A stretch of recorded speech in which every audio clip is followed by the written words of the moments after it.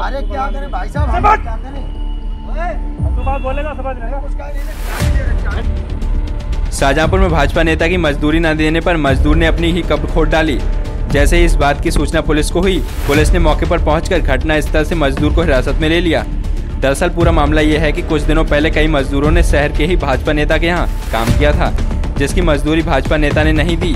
इस बात पर अड़े मजदूरों ने खिरनी बाग मैदान में धरना प्रदर्शन किया। जब उनकी बात प्रशासन ने नहीं सुनी तो मजदूरों ने आत्महत्या करने की चेतावनी दी।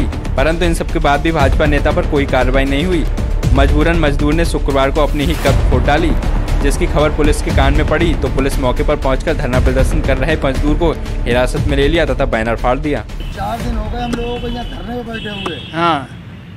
भाजपा नेता अवनीश बा- शर्मा द्वारा जो धमकी दी गई थी गौ पैसे का इल्ज़ाम लगाया था, प्लस इनके ऊपर पैसे हैं। हमारे ऊपर इल्ज़ाम लगाया, प्रशासन द्वारा कोई भी कार्रवाई नहीं की प्रशासन इतना सत्ता पक्ष के दबाव में काम कर रहा है। कल मैंने कहा था कि अगर हमारी जो है नहीं सुनी गई तो हम जो है फिर मजबूर हो जाएँगे आत्महत्या करके उसके लिए ये कबर खुद रही है, इसी में लेटेंगे हम। जिन्होंने टाइल पत्थर का काम करा था, यहाँ गोकुल धाम में, बीजेपी के नेता हैं। आरोप लगाया उन्होंने गाँव गए कशुई का, और जो है कि मुसलमान तुम तुम्हें फंसवाएँगे, नेताजी को फ़ोन करके, मंत्री जी को फ़ोन करके फंसाएँगे तुम्हें। इसलिए जो है, पैसे नहीं दे रहे हैं तो एक लोग और हैं, उनके पैंतालीस हज़ार रुपये हैं।